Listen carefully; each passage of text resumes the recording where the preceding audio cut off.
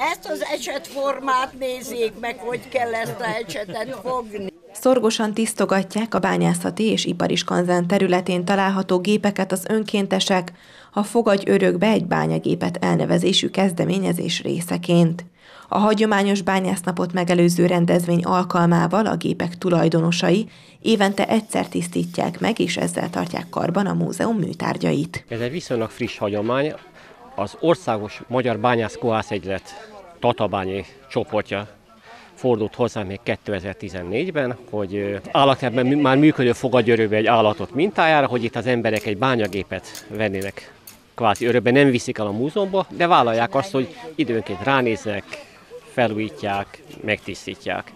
Mi akkor erre lelkesen igen mondtunk, és ez azóta működik minden évben augusztus végén. Nekidetjük ezt a napot, és akkor jönnek részint azok, akik már fogadtak örökbe, gondozzák az örökbe fogott jószágot, és hát mindig vannak újak is. 20-30 fő minden évben össze, és van, volt már, mikor 50-en voltak, mikor nyüzsgött az egész. A bányászat egyfajta felvezetésévé vált, fe, felkészülési nappá vált a bányásznak a gyakorlatilag, hiszen pár nap múlva rövidesen a bányásznap is. Kapcsolódik ugye a tematikájában a Tatabány bányászat legfőbb hagyományőrző helyszíne az a Tatabányi Múzeum szabadtéri ipari kanzanya volt 15-ös akna, és minden, ami itt történik, része a Tatabányi bányászhagyomány megőrzésének. Sokan barátokkal vagy családdal együtt érkeznek az eseményre, de civil szervezetek is gyakran vesznek részt a programon.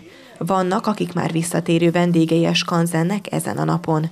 A statisztikák szerint a múzeum gépparkjának körülbelül 60%-át fogadták már örökbe a kezdeményezésnek köszönhetően. Ezt nagyon jónak tartjuk.